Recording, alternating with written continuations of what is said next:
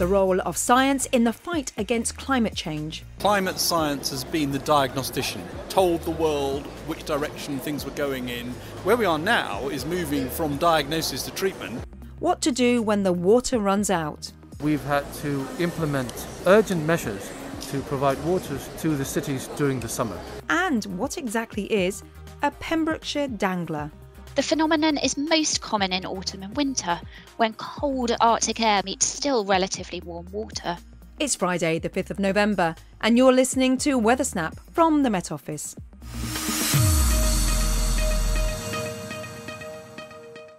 Hello, I'm Clare Nasir, and this is Weather Snap, an insider's guide to the week's weather headlines. Well, you can't have missed the fact that COP26 launched this week in Glasgow with some rousing speeches from world leaders, youth activists, and Sir David Attenborough, all on the theme of our changing climate. Midweek saw widespread promises to end deforestation, while financing action on climate change has been a key theme. Underpinning this and previous COP events is climate science. Accurate data is vital for assessing the levels of greenhouse gases and the impact of human activity. Climate correspondent Grahame Madge is at COP26, and earlier this week he spoke to Sir Patrick Vallance, the UK chief scientist, and he explained the importance of climate science in measuring and addressing climate change.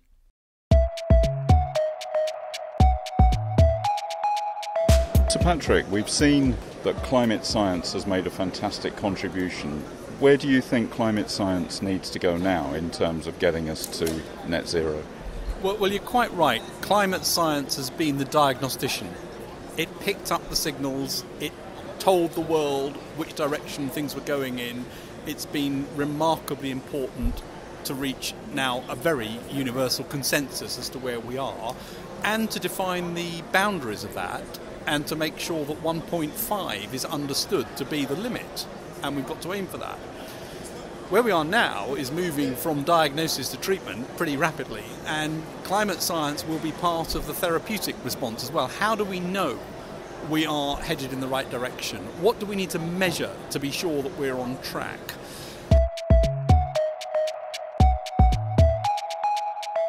In terms of the solutions that are possible with being on a pathway to net zero, is there a role, do you think, for climate science to advise which of those pathways might be best? Well, I think where, where climate science can help is to look at the solutions that are being proposed and advise on where you're likely to get the biggest bang for your buck. But, and I think this is quite an important but, we shouldn't allow that to be a sort of cherry picking type of approach where people say, well, I'll just do that one, because we know this is a widespread whole society change across a range of areas, it would be a big mistake, I think, to start to say, I'm only going to go for area A, B, or C and ignore D, E, and F, which are very important. So, yes, climate science, I think, will help. I think the measurement, the direct measurement of things like emissions is going to be important as we go forward as well. So we know what it is we're trying to correct and can tell that we are correcting it. And I think governments are going to find this very, very important. And you know, they already know that they've got to listen to the climate scientists they need to know they really need to listen to them now as we enter this phase of urgent therapy, not just diagnosis. Given your experience of the COVID pandemic, what would you translate from COVID into the new challenge that we face with climate emergency? One of the things about COVID, science has been absolutely central to the response to COVID, and it's been global and that international science has been crucial. We know that we're going to need to make changes individually. We also know that data are going to be important. So, one of the really crucial things in COVID has been access to data that can allow us to monitor, understand, respond to what's happening. Same is true for climate. Data flows, data analysis, data visualization, being able to help the decision makers to understand which direction things are going in, where uncertainties are, because there are lots of uncertainties, and how to narrow that uncertainty with experimentation, trial, measurement, correction. UK Chief Scientist Sir Patrick Vallance. Here in the UK, there is clear evidence that climate change is making our winters wetter and milder, with an increased risk of flooding. However, a very different set of impacts are faced by other countries which historically suffer from water shortages, countries like Chile. Chile is already home to one of the driest parts of the world, the Atacama Desert, which receives on average just 15 millimetres of rain per year. Here's Chilean Science Minister Andrés Couve talking to Grahame Madge. Chile is a country that suffers seven of the nine vulnerability criteria that has been established internationally. Uh, one of them, very clear, that has been affecting the country recently is drought. Uh, Chile has the Andes Mountains, accumulation of snow, ice, in the glaciers, significant, significant amounts of, um, of, uh, of, water in the mountains. And we've been uh, having a very dry season that has extended for 10 and 12 or 12 years. So it's been a very long period of time. And that is already affecting the human population, is affecting agriculture, and we've had to implement uh, urgent measures to provide waters to the cities during the summer. So it's a very clear manifest- manifestation of climate change, similar to what happens maybe in the Pacific Islands, where the sea level rise has affected communities. In our country, the lack of water is severely affecting also some communities.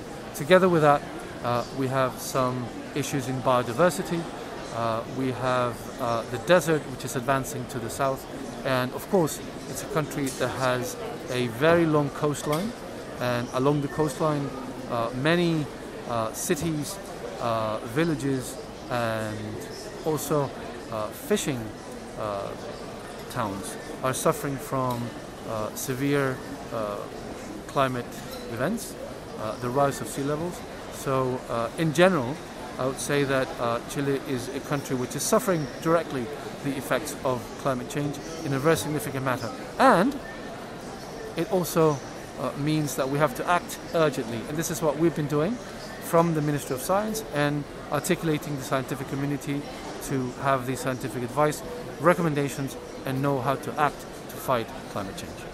If there was one single action coming from COP26, what would you hope that would be? I would say the agreement to limit the emission of greenhouse gases, but also focusing uh, with an equivalent uh, emphasis on adaptation, which is local, and as I said before, the local adaptation that we have to commit to uh, with uh, drought and with other um, of these uh, issues of climate change is, is quite um, important in Chile.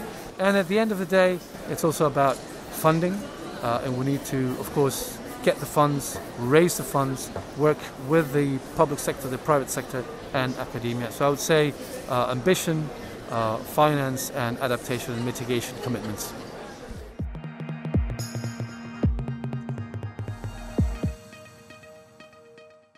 Well, let's talk about weather right here in the UK, and specifically of showers that have affected West Wales this week. The showers are due to a recurring phenomena known as a Pembrokeshire dangler. Here to explain, Helen Roberts. A Pembrokeshire dangler is the result of something called a convergence line. A convergence line is a band of cloud that remains fairly stationary and can produce large amounts of precipitation across a relatively small area.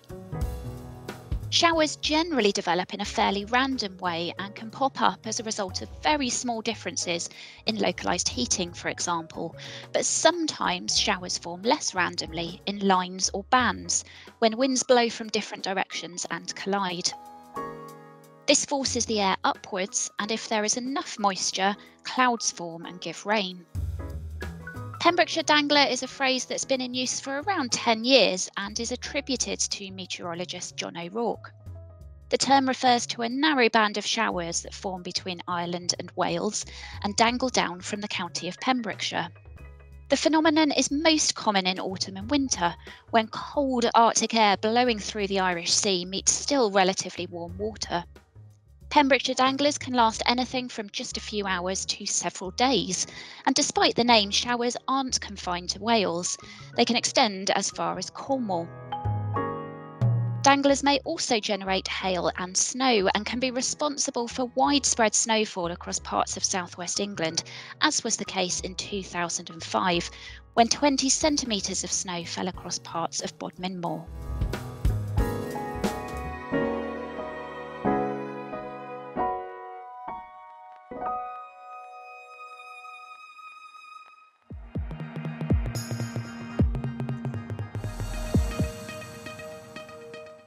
Helen Roberts. So, what can we expect weather wise for the next few days? Here with the details, Aidan McGivern. It's been a bright but fairly chilly first week at COP in Glasgow so far, which has also been the case across much of the UK. However, a change in the wind direction this weekend and a strengthening of the wind will bring milder conditions to the UK, but also more changeable conditions with more cloud and some rain at times. Having said that, actually, before the really unsettled weather arrives on Saturday morning, Friday evening looks reasonable for bonfire night. A lot more cloud in the sky compared to recent evenings, but uh, most places dry, just some outbreaks of mainly light rain towards northwestern hills and coasts.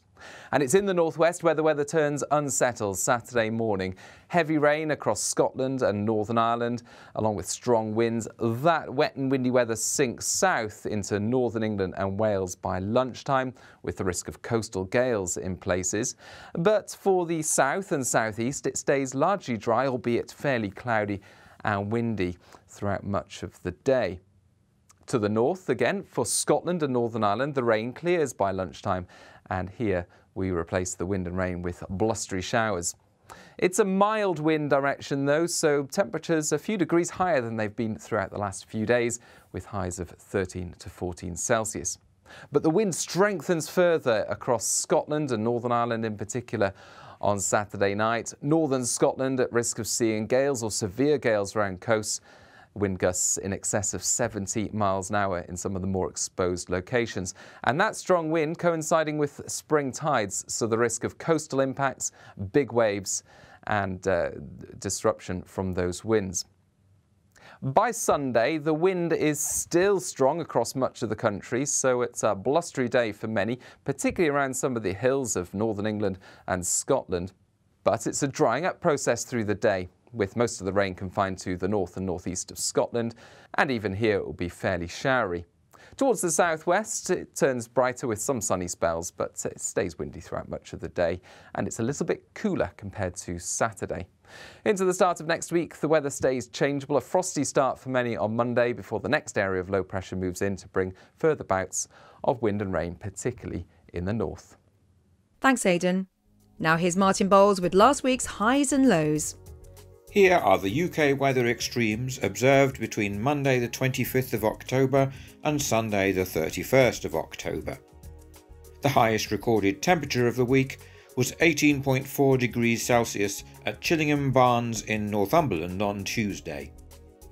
The lowest recorded temperature was minus 1.0 Celsius at Kinbrace in Sutherland early on Sunday. In a spell of widespread wet weather, the highest daily recorded value was 84.8mm at Eskdalemuir, Dumfriesshire on Thursday. The largest sunshine hour total of 8.4 hours was recorded at RAF Wattisham near Ipswich in Suffolk on Thursday. Thanks, Martin. That's it for Weathersnap. I'm Clare Nasir. Editor is Adrian Holloway. Weathersnap is a podcast by the UK Met Office.